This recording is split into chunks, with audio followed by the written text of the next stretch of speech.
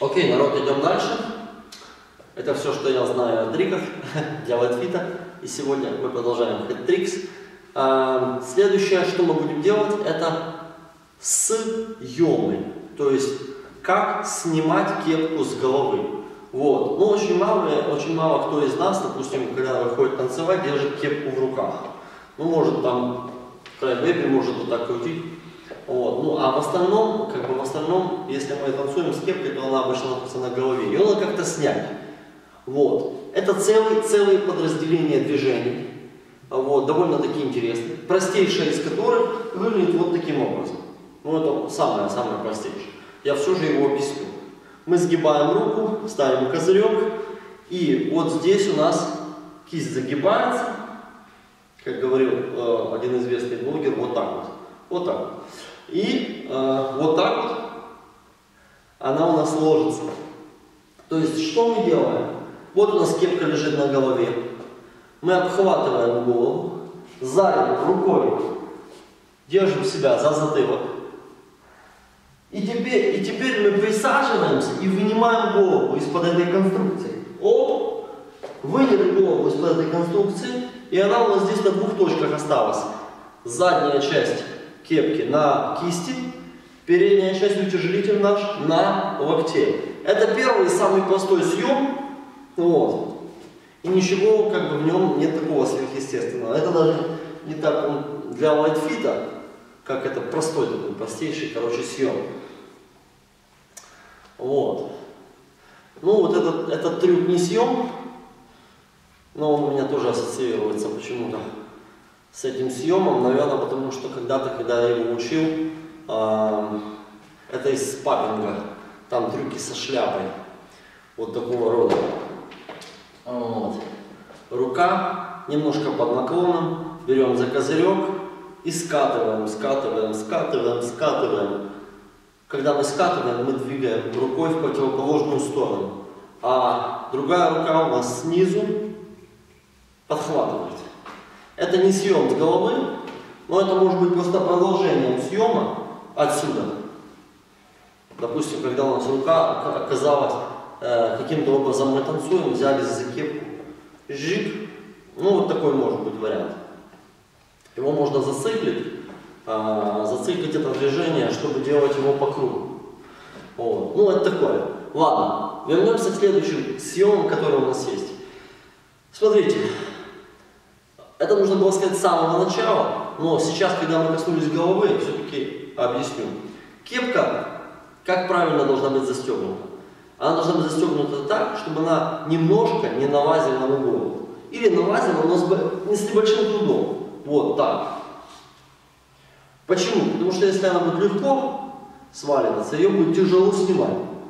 Вот. А она должна быть закрыта в таком состоянии, чтобы без надавливания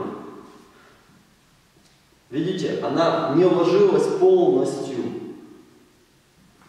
То есть, какие у нас, исходя из этого, есть положения? Положение номер один. Это кепка на затылке. Козырек вверх и кепка на затылке. Что это нам дает? Это нам дает возможность осуществлять съем назад. Вот таким вот рывком или броском. Мы ставим голову, держим ее в ровном положении, немножко наклоняемся вперед, Выставляем левую, если вам удобно, правую руку сгибаем. Вот, и таким вот рывком назад, обязательно размотайте шею перед этим. А таким вот рывком назад мы хоп и снимаем кепку. Это съем назад. Исходя из этого съема есть более сложное движение. Например, это бросок на ногу назад. Сейчас не получается, я не размялся. Но суть в том, что бросок такой же, я его чуть позднее вам объясню. Вот. Следующее, какой есть еще съем? С, в этом же положении, то есть козырек, когда вверх и на задней части на затылке становится, но нам еще немножечко нужно скрутить кепку в сторону.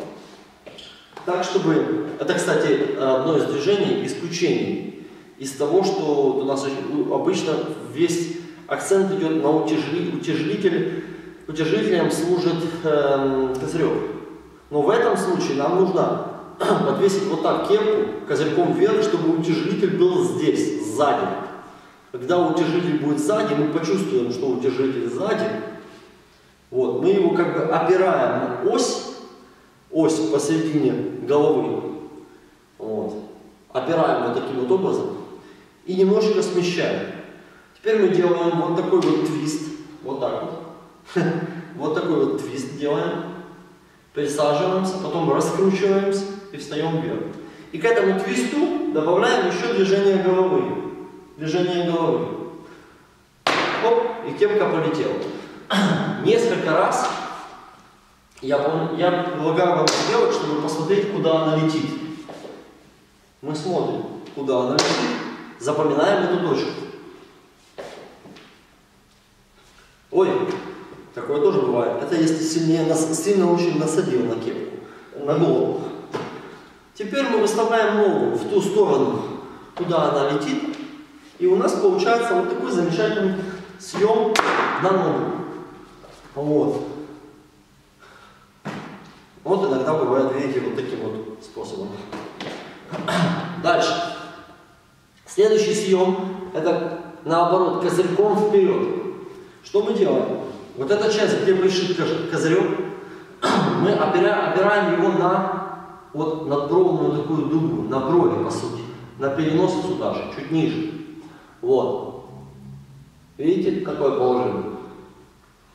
Вот. И теперь мы будем делать кивком вперед, кивок такой, как будто мы здороваемся. Здрасте. Вот.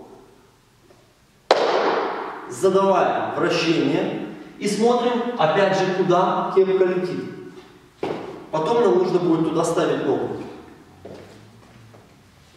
Ставим ногу, и у нас получается замечательный такой вот съем с головы. Оп. Съем с головы. Вот. И по этому же сценарию мы можем сделать такой же съем, например, покатив по руке.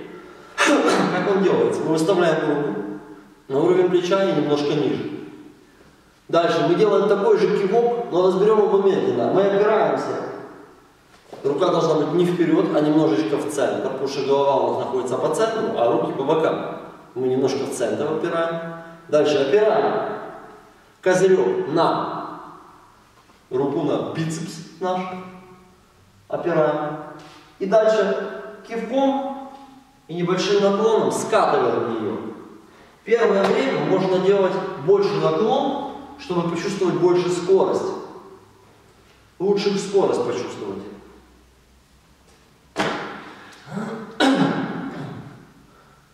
Также его можно делать обратно, козырьком назад. Вот. Здесь немножко сложнее принимать в конце, потому что он переваливается через э, козырек.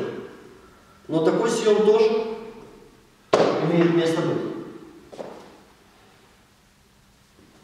Вот. И вот уже из того, что у нас есть, мы можем делать целые рутины. Окей? Идем дальше.